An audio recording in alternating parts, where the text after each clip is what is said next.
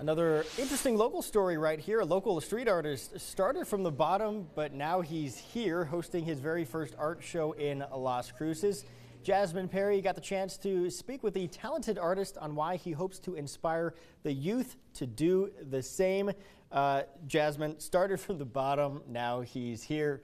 Uh, he's really embodying the uh, Drake song in real life. Yes, of course. He did start from the bottom. Now he's here. So Nazario Sandoval says he wants to help teens who are headed in the wrong path. His goal is to motivate them to express anything they're passionate about.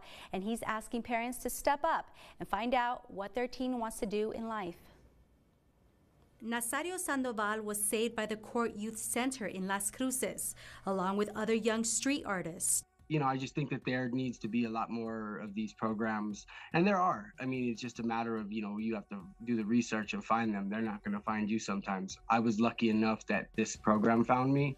That put him on the road to success. Not forgetting where I came from and all the struggles that it took to even get into my own gallery. Now Sandoval is a street artist in Las Cruces, hosting his first pop-up art show, Humble Beginnings. So, you know, that's 25 years later from the first time that I had a gallery show, which was a group show um, in 1998 at in Court Youth Center. So, you know, it's come a long way. Sandoval presents his artwork out in the community, painting the entrance of Cottonwood Mall that features a 250 foot long wall took me to a different catalyst in this art. So once you can do something of that magnitude, it really, really turns things around for you in, in your career of a, as an artist. And, you know, you got to figure out the business side of it too. It's not just, you know, going and painting things. People could take pictures against the canvas project and hashtag Cottonwood Mall and his Instagram name, Wemfer. He also painted former boxer Johnny Tapia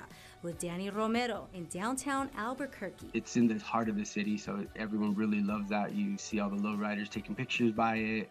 Sandoval hopes his pop-up art show inspires teens to figure out what they want to do in life, if it's becoming a painter or a photographer. But, you know, we need to really figure out how we can reach these children and how we can reach these youth because it's it's really really getting catastrophic out here and we need to really step up and ask them what they need.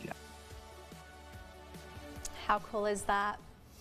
Inspirational story right there. It shows yes. that no matter where somebody starts from, if they have that hidden talent, they don't even need the talent necessarily at the beginning, just the no, drive no. to do something else with their life. And he started with graffiti. I'm telling you, yeah. he was very young. He was telling me that you know he was not in the right steps. Like he would mm -hmm. do mm-hmm. graffiti, but he went to the center in Las Cruces, and they helped him out, and they were able to like actually make his graffiti into street art. So now it's been looking like that and it's giving color to the community. So it's yeah. pretty cool. And the event is going to take place um, in Nopalitos Galeria in Las Cruces and it's going to be tomorrow from 5 to 10 p.m.